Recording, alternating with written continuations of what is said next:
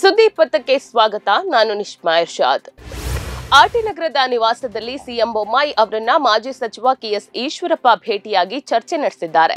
ಚರ್ಚೆಯ ಬಳಿಕ ಮಾತನಾಡಿದ ಅವರು, ಫೆಬ್ರವರಿ ಎಂಟರಂದು ಶಿವಮೊಗ್ಗ ಜಿಲ್ಲೆಗೆ ಸಿಎಂ ಬೊಮ್ಮಾಯಿ ಬರ್ತಿದ್ದಾರೆ. ಈ ಬಗ್ಗೆ ಚರ್ಚೆ ನಡೆಸೋದಕ್ಕೆ ಬಂದಿದ್ದೇನೆ ಅಷ್ಟೇ ಅಂತ ಹೇಳಿದ್ದಾರೆ.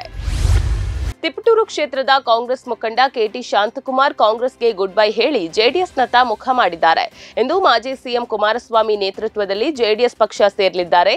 ತಿಪಟೂರು ಕಲ್ಪತರು ಕ್ರೀಡಾಂಗಣ ಆವರಣದಲ್ಲಿ ಜೆಡಿಎಸ್ ಪಕ್ಷ ಸೇರ್ಪಡೆ ಕಾರ್ಯಕ್ರಮ ಹಮ್ಮಿಕೊಳ್ಳಲಾಗಿದೆ.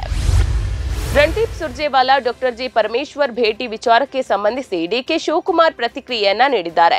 ಡಾಕ್ಟರ್ ಜಿ ಪರಮೇಶ್ವರ್ ನಮ್ಮ ಪಕ್ಷದ ಆಸ್ತಿ, ಬೆಂಗಳೂರು ವಿಚಾರವಾಗಿ ಇಬ್ಬರು ನಾಯಕರು ಭೇಟಿಯಾಗಿದ್ದಾರೆ. ಬೆಂಗಳೂರು ಟ್ರಾಫಿಕ್ ವಿಚಾರವಾಗಿ ಮಾತುಕತೆಯನ್ನ ನಡೆಸಿದ್ದಾರೆ ಅಂತ ತಿಳಿಸಿದ್ದಾರೆ. ನಾನು ಎಂಟು ವರ್ಷಗಳ ಕಾಲ ಕೆಪಿಸಿಸಿ ಅಧ್ಯಕ್ಷನಾಗಿ ಕೆಲಸ ಮಾಡಿದ್ದೇನೆ. ಈ ಅನುಭವದ ಆಧಾರದ ಮೇಲೆ ಸುರ್ಜೇವಾಲಾ ಜೊತೆ ಚರ್ಚೆ ಮಾಡಿದ್ದೇನೆ. ಕೆಲವು ಮಹತ್ವದ ವಿಚಾರಗಳನ್ನ ಅವರ ಜೊತೆ ಮಾತನಾಡಿದ್ದೇನೆ. ಕೆಲವು ಭಿನ್ನಾಭಿಪ್ರಾಯಗಳು ಇರಬಹುದು, ಹಾಗಂತ ಅಸಮಾಧಾನ ಎಂದು ಅರ್ಥೈಸೋದು ಸರಿಯಲ್ಲ. ನನ್ನ ಅಭಿಪ್ರಾಯಗಳನ್ನ ರಣದೀಪ್ ಸುರ್ಜೇವಾಲಾ ಬಳಿ ಹೇಳಿದ್ದೀನಿ ಅಂತ ಹೇಳಿದ್ದಾರೆ. ಐವತ್ತು ದಿನಗಳ ಬಳಿಕ ಈ ಬಿಜೆಪಿ ಸರ್ಕಾರ ಇರೋದಿಲ್ಲ. ನಮ್ಮ ಸರ್ವೆಯ ಪ್ರಕಾರ ಕಾಂಗ್ರೆಸ್ ನೂರ ಮೂವತ್ತಾರು ಕ್ಷೇತ್ರಗಳಲ್ಲಿ ಗೆಲ್ಲಲಿದೆ ಅಂತ ಬೆಂಗಳೂರಿನಲ್ಲಿ ಕೆಪಿಸಿಸಿ ಅಧ್ಯಕ್ಷ ಡಿಕೆ ಶಿವಕುಮಾರ್ ಹೇಳಿಕೆಯನ್ನ ಕೊಟ್ಟಿದ್ದಾರೆ. ರಾಜ್ಯದಲ್ಲಿ ಕಾಂಗ್ರೆಸ್ ಪಕ್ಷ ಅಧಿಕಾರಕ್ಕೆ ಬರಲಿದೆ. ರಾಜ್ಯದ ಜನರಿಗೆ ನಾವು ಉತ್ತಮ ಆಡಳಿತವನ್ನ ಕೊಡ್ತೀವಿ ಅಂತ ಭರವಸೆಯನ್ನ ನೀಡಿದ್ದಾರೆ. ಜನಾರ್ದನ ರೆಡ್ಡಿ ಸ್ನೇಹ ಕಳ್ಕೊಂಡ ಶ್ರೀರಾಮುಲುಗೆ ಸಂತೋಷ್ ಲಾಡ್ ಶ್ರೀರಕ್ಷೆ ನೀಡಿದ್ದಾರೆ. ಸಂತೋಷ್ ಲಾಡ್ ಸ್ನೇಹಕ್ಕೆ ಶ್ರೀರಾಮುಲು ಕೈಚರ್ಚಿದ್ದಾರೆ ಬಳ್ಳಾರಿ ಜಿಲ್ಲೆಯಲ್ಲಿ ಜನಾರ್ದನ ರೆಡ್ಡಿ ಹಣಿಯಲು ಲಾಡ್ ಸ್ನೇಹಕ್ಕಾಗಿ ರಾಮುಲು ಒಲವು ತೋರಿಸಿದ್ದಾರೆ.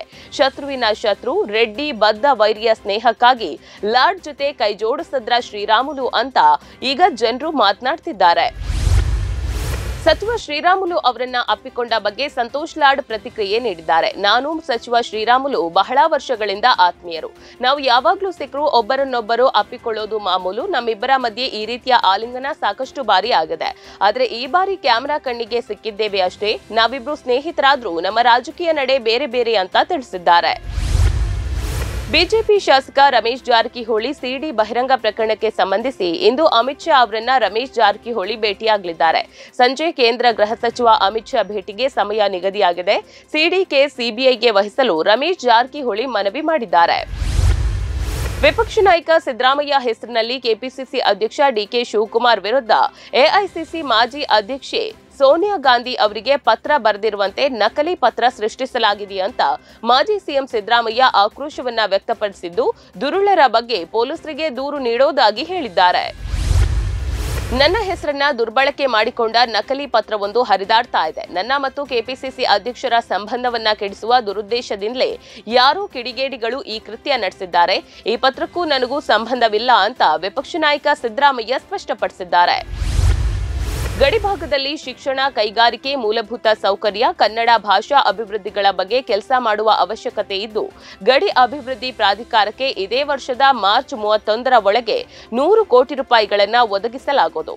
ಈ ಅನುದಾನಕ್ಕೆ ಕ್ರಿಯಾ ಯೋಜನೆಯನ್ನ ಸಿದ್ಧಪಡಿಸಿ ಸಲ್ಲಿಸಲು ಮುಖ್ಯಮಂತ್ರಿ ಬಸವರಾಜ ಬೊಮ್ಮಾಯಿ ಸೂಚಿಸಿದ್ದಾರೆ.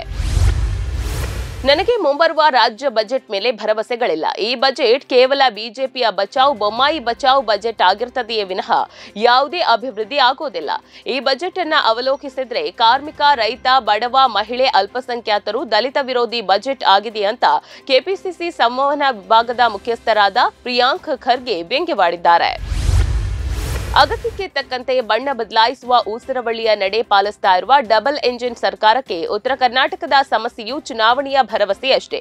ಇಂತಹ ಗಂಭೀರ ಸಮಸ್ಯೆಗಳನ್ನ ಕಾಲ ಕಸಕ್ಕಿಂತ ಕಡೆಯಾಗಿ ನೋಡ್ತಿರುವ ಡಬಲ್ ಎಂಜಿನ್ ಬಿಜೆಪಿ ಸರ್ಕಾರಗಳಿಗೆ ಕಿಂಚತ್ತೂ ಮಾನವೀಯತೆಯೇ ಇಲ್ಲ ಎಂಬುದಾಗಿ ಮಾಜಿ ಸಿಎಂ ಎಚ್ ಡಿ ಕುಮಾರಸ್ವಾಮಿ ಸರ್ಕಾರದ ವಿರುದ್ಧ ವಾಗ್ದಾಳಿಯನ್ನ ನಡೆಸಿದ್ದಾರೆ.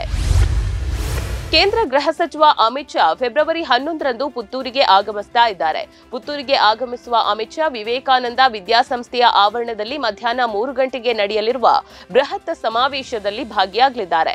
ವಿಧಾನಸಭಾ ಚುನಾವಣೆ ಸಮೀಪಿಸುತ್ತಿರುವ ಬೆನ್ನಲ್ಲೇ ಕೇಂದ್ರದ ನಾಯಕರು ರಾಜ್ಯಕ್ಕೆ ಭೇಟಿ ನೀಡ್ತಾ ಇದ್ದಾರೆ. ಈ ತಿಂಗಳಲ್ಲಿ ಮತ್ತೆ ಪ್ರಧಾನಿ ಮೋದಿ ಕೂಡ ರಾಜ್ಯಕ್ಕೆ ಆಗಮಿಸಲಿದ್ದಾರೆ. ಭಾರತೀಯ ಜೀವ ವಿಮಾ ನಿಗಮದಲ್ಲಿ ಹೂಡಿಕೆ ಮಾಡಿರುವ ಸಾರ್ವಜನಿಕ ಹಣವನ್ನ ಬಿಜೆಪಿಯ ನಾಯಕರು ಲಾಭಕ್ಕಾಗಿ ಬಳಕೆ ಮಾಡಿದ್ದಾರೆ ಅಂತ ಪಶ್ಚಿಮ ಬಂಗಾಳ ಮುಖ್ಯಮಂತ್ರಿ ಮಮತಾ ಬ್ಯಾನರ್ಜಿ ಆರೋಪಿಸಿದ್ದಾರೆ. ಬಜೆಟ್ ಮಂಡನೆಯ ಬಳಿಕ ಷೇರು ಮಾರುಕಟ್ಟೆ ಭಾರೀ ಕುಸಿತವನ್ನ ಕಂಡಿದೆ. ಎರಡು ಸಾವಿರದ ಇಪ್ಪತ್ನಾಲ್ಕರ ಲೋಕಸಭಾ ಚುನಾವಣೆಯನ್ನ ಗುರಿಯಾಗಿಸಿ ನಡೆಸಿದ ಸರ್ಕಾರದ ಘೋಷಣೆಗಳೆಲ್ಲ ಬರೀ ಸುಳ್ಳು ಅಂತ ವಾಗ್ದಾಳಿಯನ್ನ ನಡೆಸಿದ್ದಾರೆ. ಇದೀವರೆಗಿನ ಪ್ರಮುಖ ಸುದ್ದಿ ನೋಡ್ತಾ ಇರಿ. ಸಮ ಸಮಾಜಕ್ಕಾಗಿ ಕನ್ನಡವ ನ್ಯೂಸ್. ನಮಸ್ಕಾರ. Música